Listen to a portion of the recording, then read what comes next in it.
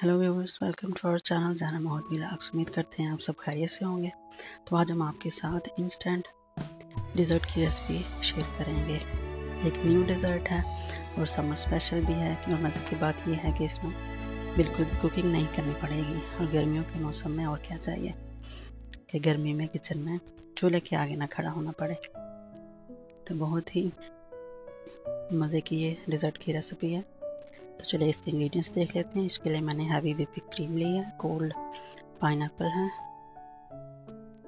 Bread crumb milk powder, आप कोई भी यूज़ कर सकते हैं। शुगर, ये पिस्ता है और बादाम स्लाइस किए हुए। और वनीला एसेंस। और फ़ूड कलर है, ग्रीन फ़ूड कलर। आपके पास लिक्विड है तो वो भी इस्तेमाल कर सकते हैं।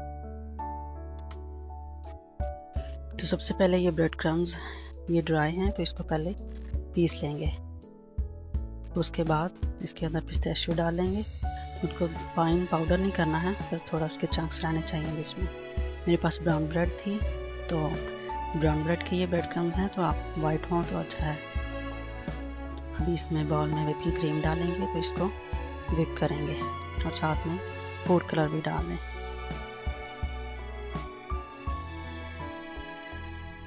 अब इसके अंदर शुगर डालेंगे तो फिर दोबारा से इसको विप करेंगे। अब इसमें वनीला एसेंस डाल दें। पाउडर है तो वो डाल दें मिल्क पाउडर है। तो इसको अब इतना विस्क करेंगे कि हार्ड पीक्स बन जाए। मिल्क पाउडर मेरा मीठा था तो मैंने पाँच चम्मच शुगर यूज़ की है अगर आपका मीठा नहीं है तो आप चाहे छः चम्मच भी इस्तेमाल कर सकते हैं। अब इसके अंदर पाइन डालेंगे। और बादाम डालेंगे।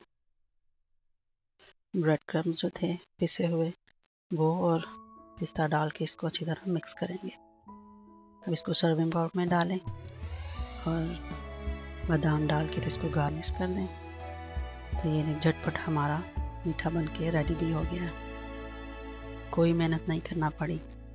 बिल्कुल चूल्हे के आगे नहीं खड़ा होना पड़ा। इतनी गर्मी में बिल्कुल झटपट से हमारा डिज़र्ट बन के रेडी हो गया कितना प्रेजेंटेबल है। कलर भी इतना प्यारा लगता है और टेस्ट में भी बहुत ही मज़े का था। आप इसमें पाइन अपनी मर्ज़ी से ज़्यादा भी डाल सकते हैं। और जो विपिंग क्रीम है, अगर आपके पास विप क्रीम हो कूल विप जो मिलता है रेडीमेड वो भी इस्तेमाल कर सकते हैं।